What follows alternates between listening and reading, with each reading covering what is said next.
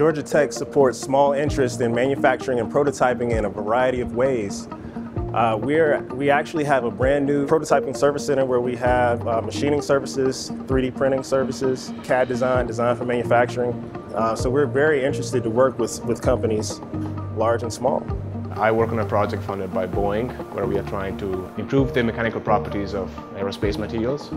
By that doing, we are trying to increase the safety of airplanes and extend the fatigue life and lowering costs for manufacturing. So the most exciting part for me was to be able to combine the theoretical knowledge that you gain from going to class to study by yourself to the hands-on experience, to the practical knowledge I gained by working in, in this lab in particular.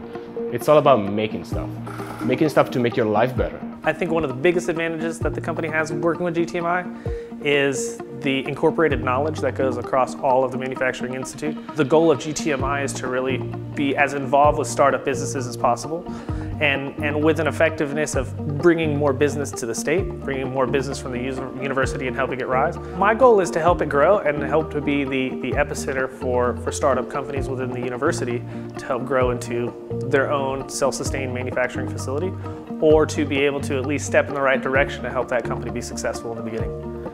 It's a really great place to get a lot of different types of collaboration going. Um, I work with mechanical engineers, materials engineers, and manufacturing engineers. Um, so it's a really great collaborative environment. One of the things that I really liked um, about uh, GTMI is the fact that a lot of the research is very applied, it's very hands-on. It's not just basic research uh, where I just do some tests on a bench top and then publish some papers. I've gotten a patent out of my work so far, so I get to do a lot of hands-on applied research that I think will have a big impact in the next five, ten years. With GTMI, having the access to the machine was the biggest thing, and having the people with the expertise of the machine um, was invaluable because otherwise we would have to rent a machine, which would cost us tons of money that we weren't prepared to spend as a small company.